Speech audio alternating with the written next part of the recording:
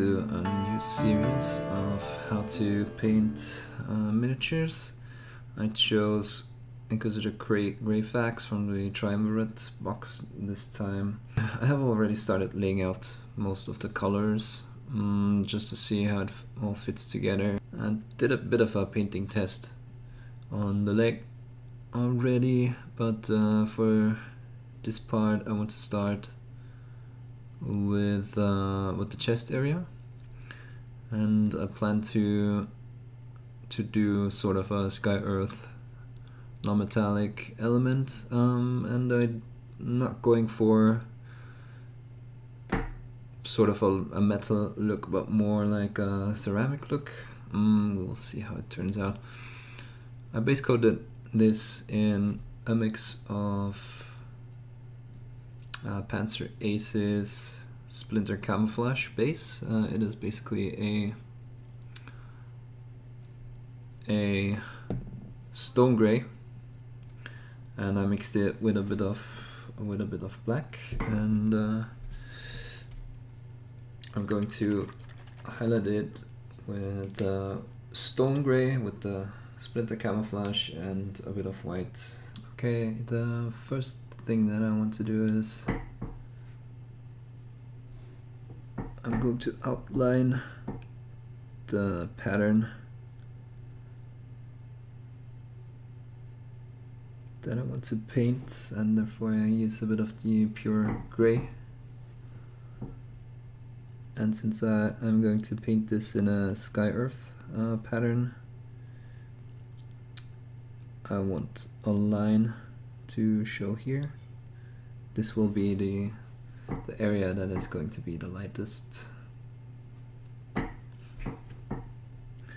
Um, the upper part is sort of going to reflect the the sky and uh, the lower part is mm, reflecting more the, the darker areas of the of the earth and uh, that's why it's called sky earth non-metallic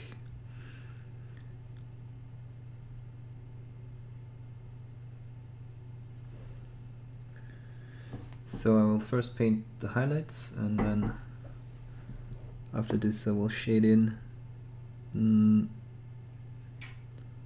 I paint in the shades.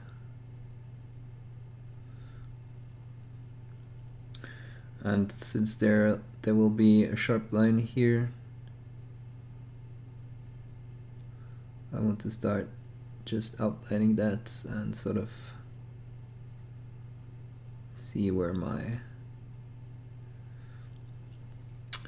my boundaries are for the for the colors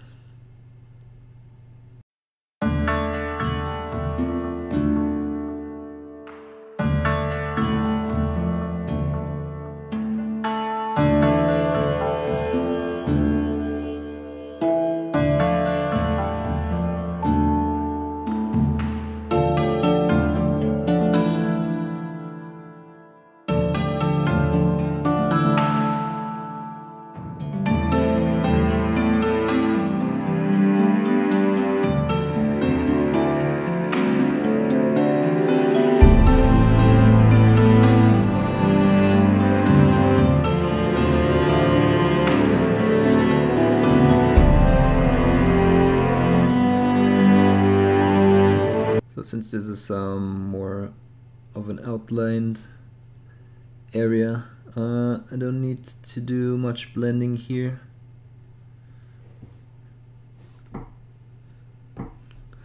I'm just painting uh, a coherent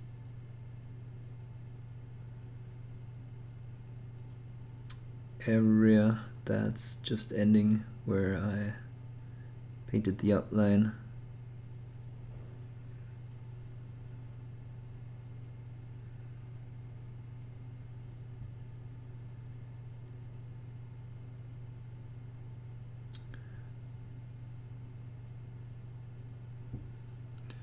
as a base and something that I want to at least outline right now as well is uh, that reflection down here you know like any any orb, any any um, metal orb, you will have a reflection also on the underside of an orb like that.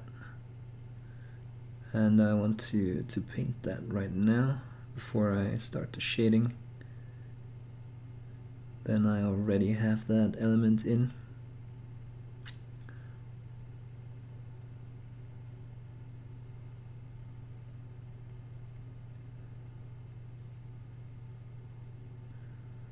and I'm just just using really thin layers here to get sort of like a gradient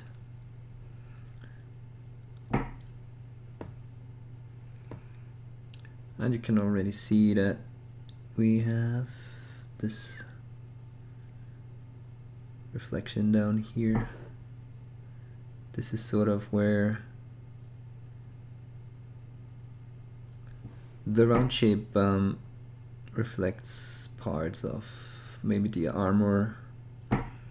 Um, it's just uh, an area where there's more light um, accumulating than at the rest of, of this shape.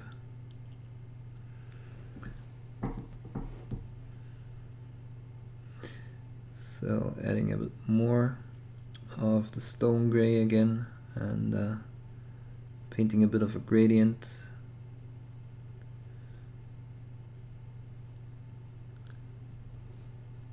to this line here in the front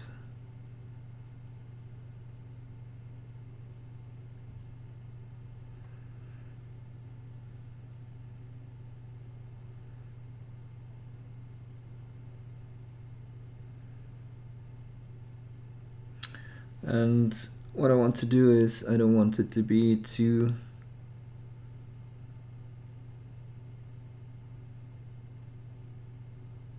too regular because uh, that adds a bit of an interesting effect. So make that line a bit jagged, sort of like it would reflect uh, a all the peaks of a mountain or uh, a mountain ridge.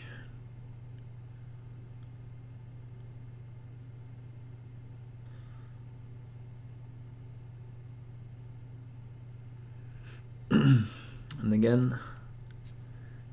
Going to paint a few layers down here.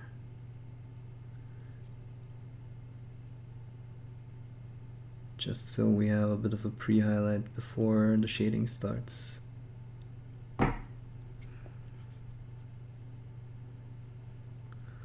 Okay adding some white to the mix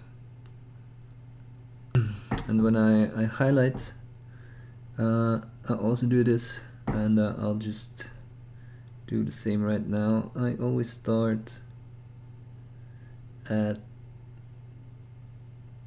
the area that should be the lightest. You know if I when I'm blending okay that, that was a bit uh, misleading. When I'm blending I'm starting at the area that uh, that will stay darker. And I move towards the area that I move the brush towards the area that will be lighter. So that if I have some pooling of pigment it will actually pool uh, where I want where I'm going to paint more layers anyway. So if the white uh, paint pools here in the front that's actually not bad. Since I was gonna paint a few more layers here anyway.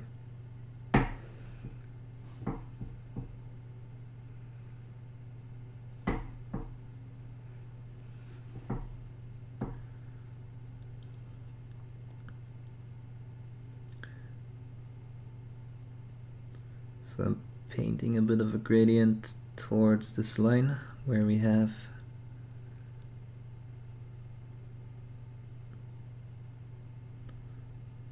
um, the horizontal line.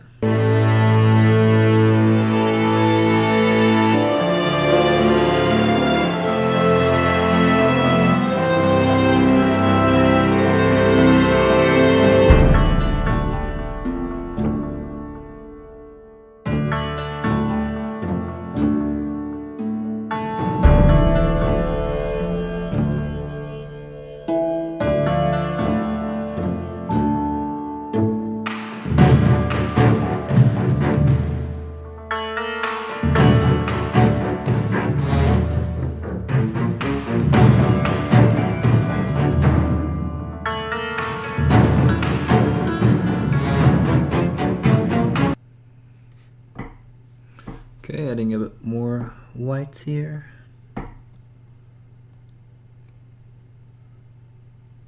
And just touching the very line here. And again, I'm not doing this regularly.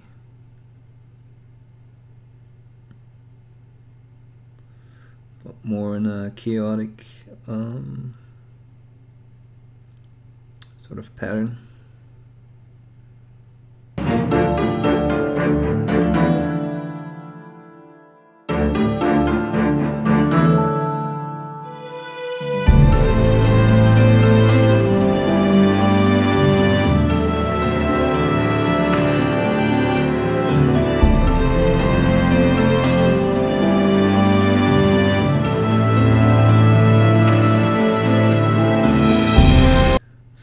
Line is going to distinguish the upper part, which like I said reflects more of the of the sky, um, the light that's coming from above,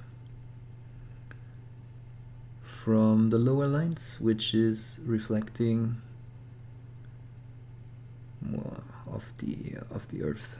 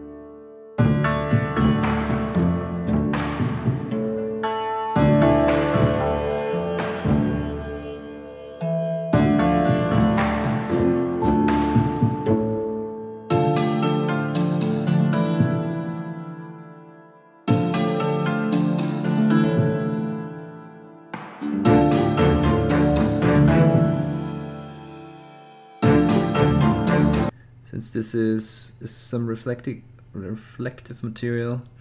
Um, later you probably also want to to paint a bit of uh, a red of reflection here. But uh, let's let's first finish this gradient.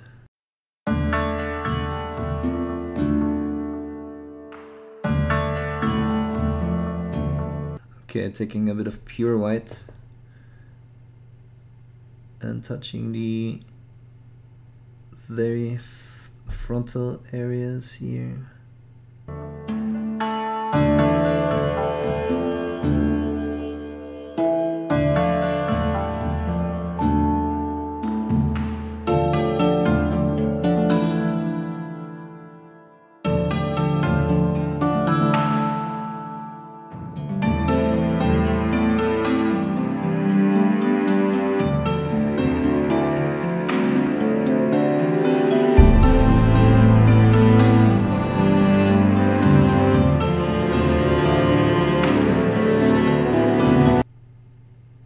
Since the white uh, is really intense um, I want a bit more light showing up here so I'll just add a couple of more layers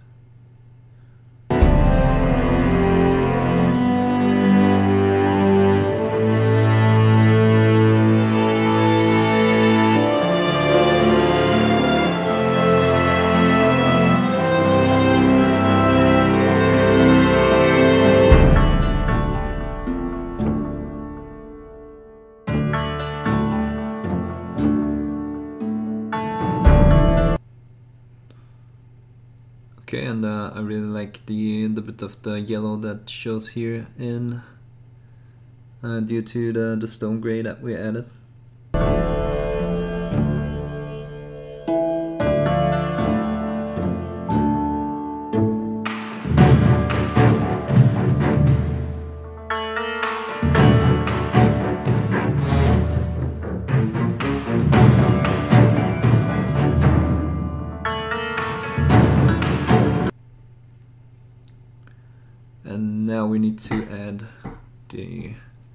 Just below the line. Just below the light line we want the very dark the darkest area. So I'll add a bit of black to the base mix. And just very, very carefully add a fine layer of black. Well blackish gray to be more precise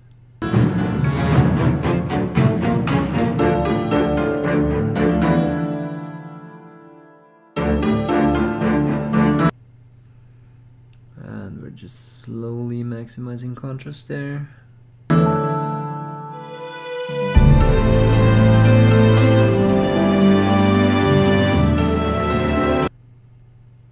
And this is sort of like highlighting just uh, in the other direction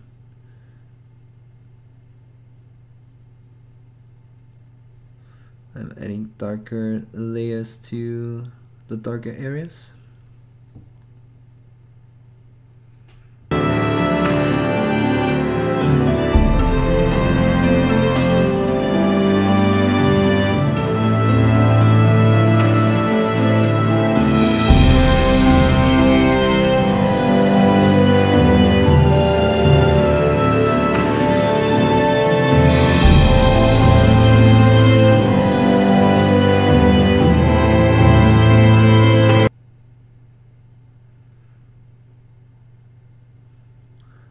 just like I, I would draw the line up.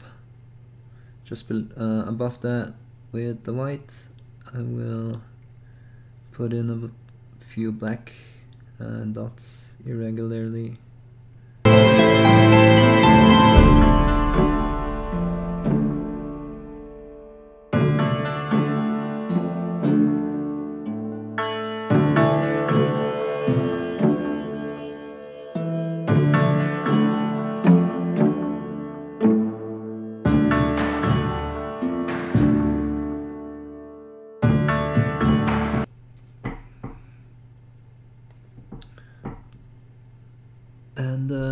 want to intensify the reflection down here before I add a bit of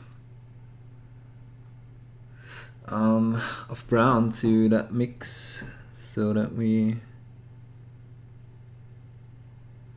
so that we get a bit of a color variation.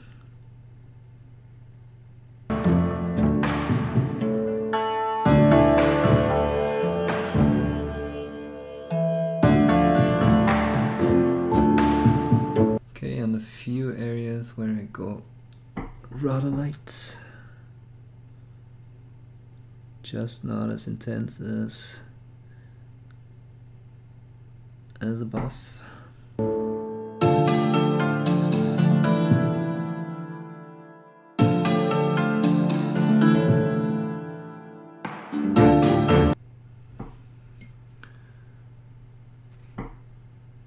okay so adding a bit of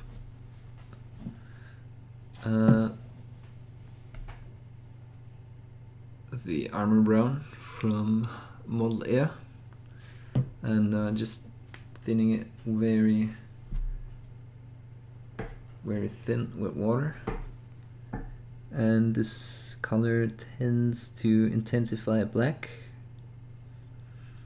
and it will tint the the reflection below a bit.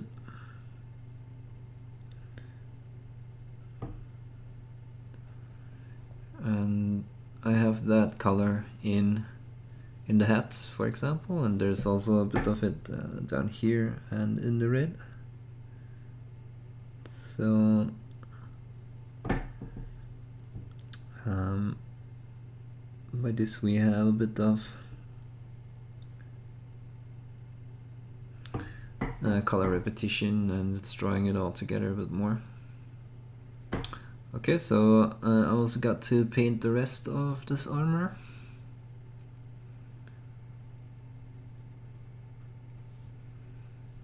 So I'll take a bit of the base color with added white and uh, I decided to paint the left side. I'm gonna close the dried in.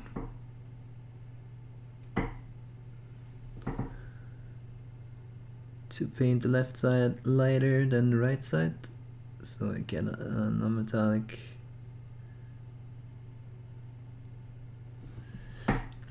effect as well.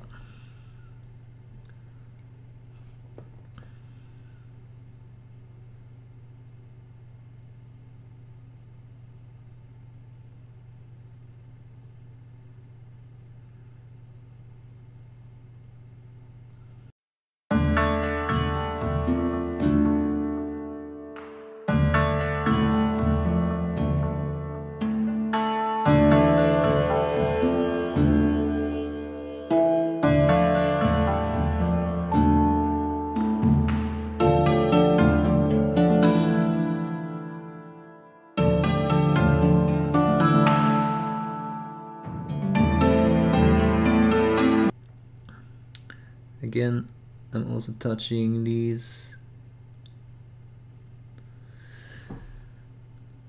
Lower edges of it.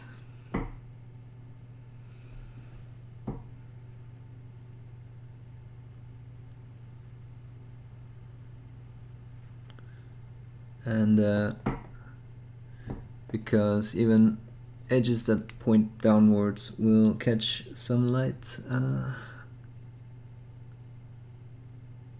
and you'll see reflections. Just not as intense as if they were pointing up. And always try to start at the area that would uh, give you the lightest the the most light reflected and fade it out to the other areas. Um, kind of feel like here would be a really light reflection point and then it fades out down here and then we have some here maybe. And uh, here the armor is parted and I'll also touch that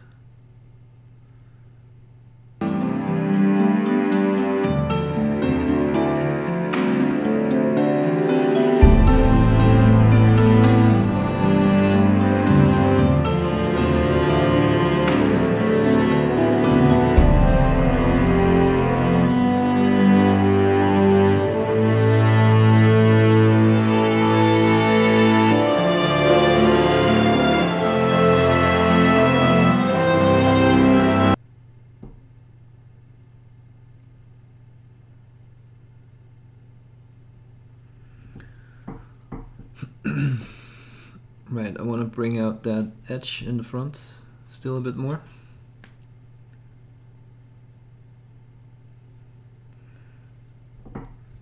So mixing a bit white to the stone gray and again starting where the most light would hit and uh, fitting it out to the back a bit.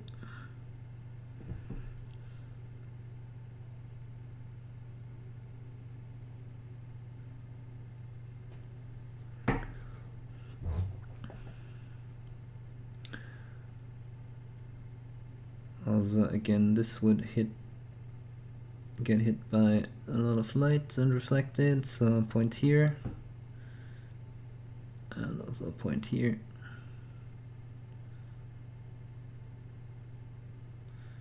And we'll go a bit down not too much still want this to be the brightest area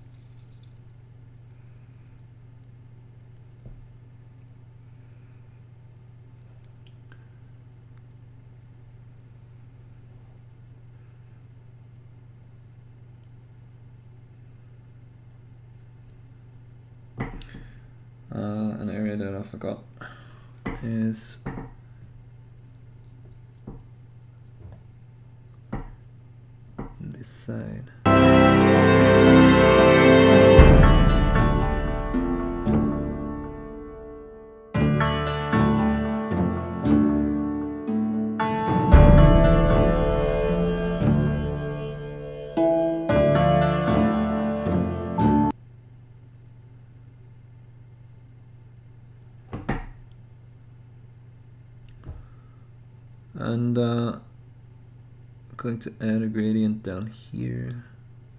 Just from from this dark area to a bit more lighter color. Just so that uh, it it mimics the other side you know here where it goes from light to dark. I want it to go from dark to light just to sort of uh, go with the non-metallic um, quote unquote rules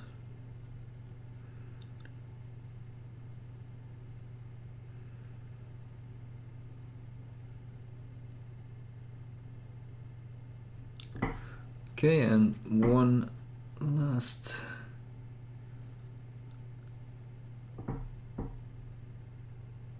dip of white here.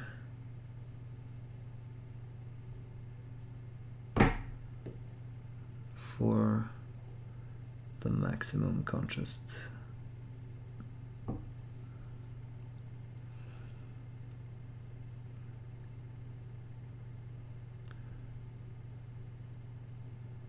here and here and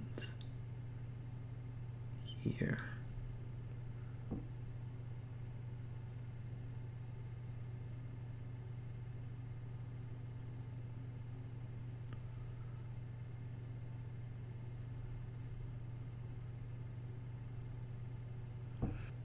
Okay, going going to tie in well going to tie in the whole armor a bit. Or tying it together rather.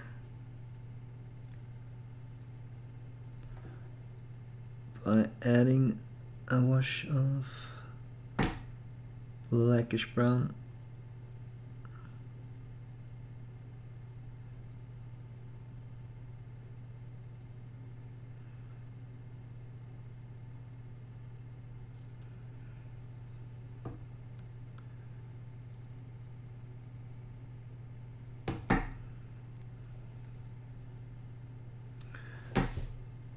and I'll paint. A bit of brown here as well.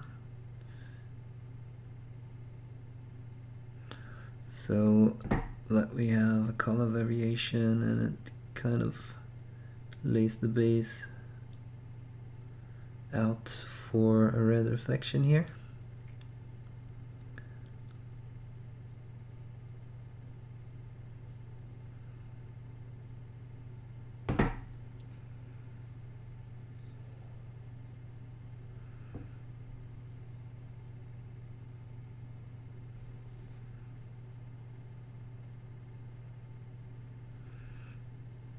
and I'll ink this area.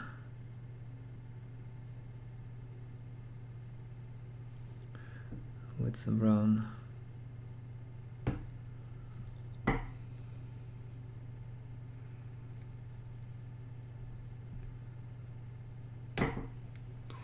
And that is going to be it